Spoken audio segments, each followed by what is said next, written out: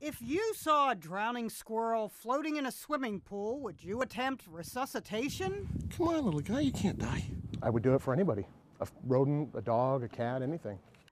Rick Gruber is an animal lover and a pool repairman in Phoenix, Arizona. He fished this guy out of a pool he'd been working near, draped him over a plastic pipe, and tried to remember what he'd learned in CPR classes.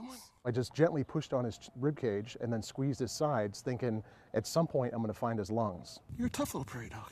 Technically, it's a round tailed ground squirrel, a sort of miniature prairie dog. Within a minute or two, he got the squirrel breathing and transferred it to a nice soft knee pad. Are you ticklish? Rick was thrilled to see his patient twitch. There you go. Come on. Soon it opened its eyes. I know you probably feel like crap. You were just dead. No wonder his co-workers have been calling him. Oh, hey, it's the squirrel whisperer. Oh, hey, it's the, the squirrel hero. The story had a local news anchor in stitches. Now, vets tell us that the best way to give a squirrel CPR is to put it on its side, give 10 chest compressions gently using the thumb and forefinger, and then breathe twice directly into the nose. Repeat as necessary until the squirrel revives. But Rick wasn't putting his mouth anywhere.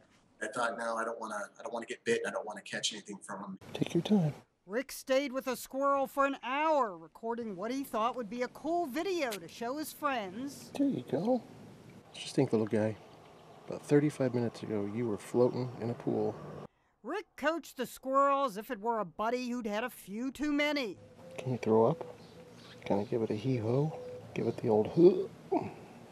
It did spit up some water, though Rick's camera mercifully missed most of that. Finally, the resuscitated rodent walked. And where did it head?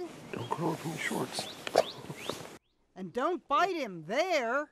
Off it scurried into the desert, leaving the squirrel whisperer behind to utter a final thought. Pool guys aren't so bad, are they? Come on, little guy, you can't die. If it weren't for the pool guy, this guy wouldn't have pulled through. Jeanne Moos, CNN, New York.